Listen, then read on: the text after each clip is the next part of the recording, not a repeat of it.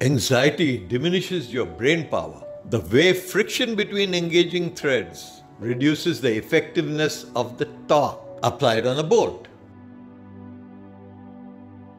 So, what happens with anxiety?